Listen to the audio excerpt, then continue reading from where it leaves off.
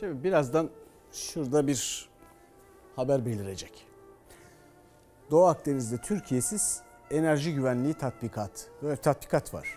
Amerika'sı var, İngiltere'si var, İtalya'sı var, Yunanistan'ı var, Mısır'ı var, İsrail'i var, Fransa'sı var.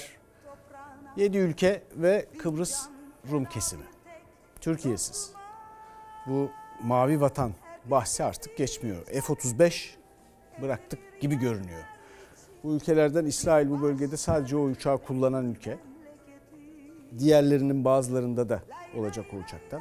Şimdi bütün uzmanlar biz F-35 projesinden 20 yıl emek, 12-13 milyar dolar gelir, 900 parçasını üretiyoruz vazgeçmeyelim.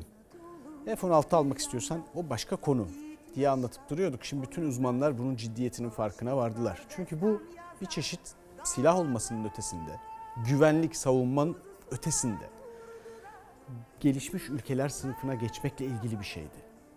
Çabuk vazgeçtik. Ve bunun bizim güvenliğimizi nasıl tehdit ettiğini tartışmaya başladık şimdi. Efendim burada da böyle bir durum var haberiniz olsun istedim.